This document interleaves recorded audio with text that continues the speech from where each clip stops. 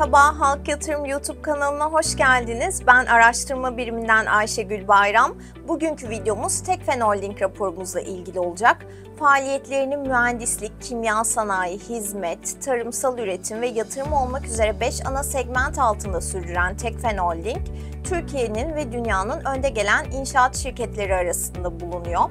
İlk çeyrek finansallarına göre 1.19 milyar dolar seviyesine bakiye siparişlere sahip olan şirketin projelerinin %80'i yurt dışında yürütülüyor. Mevcut bakiye siparişlerinin %56'lık kısmı Orta Doğu'da, %24'lük kısmı da Hazar bölgesinde yer alan ülkelerde yürütülüyor. Yakın gelecekte Rusya ilintili projelerde ivmelenme yaşanmayacağı öngörüsüyle Türkiye dışında Suudi Arabistan, Katar, Azerbaycan, Irak ve Kazakistan'ı yüksek potansiyel taşıyan ülkeler olarak görüyoruz. Tekfen Holding'in gübre sektörü faaliyetlerini gösterdiği kimya sanayi segmenti küresel büyüme döngüsüyle yakından ilişkili temasıyla öne çıkıyor. Geçmiş yıllarda kimya sanayi segmenti yüksek gübre fiyatlarının desteğinde konsolide operasyonel karlılıkta tetikleyici güç rolünü üstlenmişti.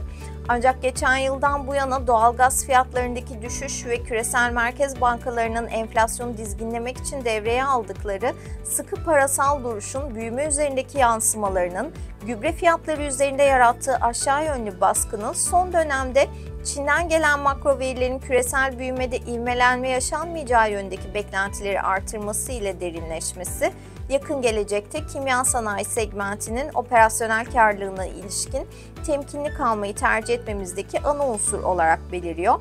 Hizmet segmentine ilişkin olarak ise küresel büyümenin yavaşladığı dönemlerde ivmelenen karlılık yapısı çerçevesinde ilerleyen dönemlerde konsolide operasyonel karlılığa katkısının artış göstereceğini tahmin ediyoruz. Bu çerçevede şirketin konsolide satış gelirlerinin yıl sonunda kimya sanayi segmenti gelirlerindeki artışın etkisiyle %24 yükselişle 38.10 milyar TL'ye yükseleceğini öngörüyoruz.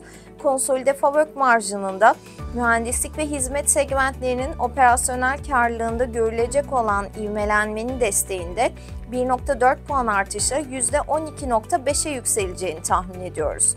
Net kar marjının da yıl sonunda operasyonel karlılıkta beklenen dengelenmeye karşın küresel piyasalardaki volatilite nedeniyle 3,5 puan düşüşle %7.9'a gerileyeceğini tahmin ediyoruz.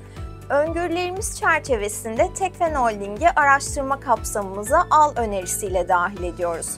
Tekfen hissesi için 12 aylık hedef fiyatımızı %51 yükseliş potansiyeliyle 52.37 TL olarak belirliyoruz. Videomuzun sonuna geldik. Bir sonraki videoda görüşmek dileğiyle. Hoşçakalın.